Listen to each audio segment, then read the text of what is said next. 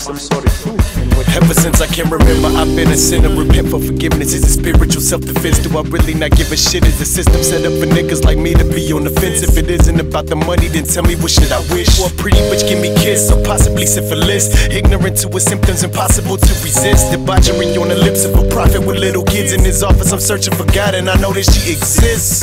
In the hearts of men, I see hopelessness. Dope and sniff, trying to cope with it. How can you blame me for being emotionless? I'm from Ohio, where it's cold as shit. Home alone is sick, blowing homegrown cones of pith. Take another to the dome, and I'm prone to drip. God forgive me for my sins. I was only six, with the world on my shoulders. I hold and lift. So why smoke a blunt to take the pain out? And if I wasn't high, I'd probably try to blow my brains out. I'm going insane, system trying to flush the cane out. Nasal dripping raindrop, falling from the heaven sky, trying to live a better life, searching for my peace of mind. Separate the negative influence, what I leave behind. Precondition, I think of grinding I'm shining. Diamonds in my timepiece, no, I find it. I need Armani. Time ticking, conviction. I grind, preaching from non-fiction, having visions of fucking die bitches. My mind switches to moon ride. The sun faded to the skyline. It's my time, it's my life, and I'ma live it like I might die. I only exist to give you signal like I'm Wi-Fi. If you don't give 100%, then nigga, why try? If you don't give 100%, then nigga, just die.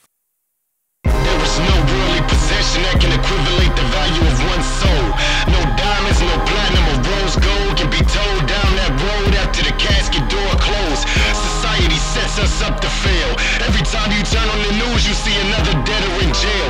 No cheddar for bail, no positive story, cause only negative sales. And we make this shit worse with all these internet fails. Kids setting they self on fire like we Ask the Oprah Winfrey's, Russell Simmons, and Barack Obamas.